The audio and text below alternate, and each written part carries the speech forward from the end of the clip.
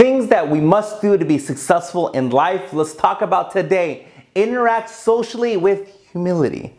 Humility, what? A modest or low view of one's own importance, a humbleness. The people who are the most successful usually are humble. The people who are arrogant and egotistical usually are broke and haven't done anything. Because people who have had success know that they failed over and over and over again, and they know for a fact it didn't just come to them. They know that they're worth this much, they have this much value in the marketplace, not because they're arrogant, but they know that they had to work hard, they were turned down, people told them they were idiots, and when you've gone through all this being beat up and battered, when you go through all this war of how to be successful in life in general, you start to be humble in life because you understand, you know what? The truth is, no matter how successful someone is, someone's bigger and badder. I watch Shark Tank, Mark Cuban, every single day in my car, or every single day me and my girlfriend watch it. And you see Mark Cuban's worth what? $3 billion, $4 billion, whatever B he's worth, he's worth a lot of money.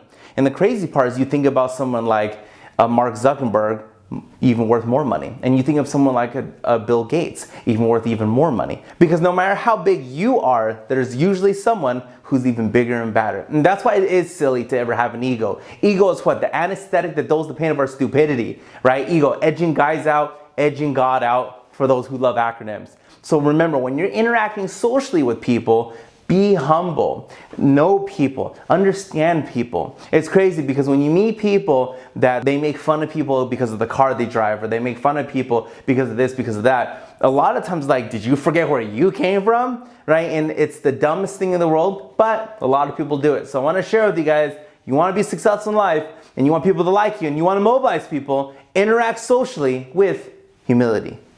If you enjoyed this video, push like and share on social media right now. Share with me your thoughts on today's topic. Comment below, let me know. Find me on YouTube, Facebook, Twitter, and Instagram. Let's go out there today, be successful, get wealthy, get healthy, and I'll see everybody tomorrow.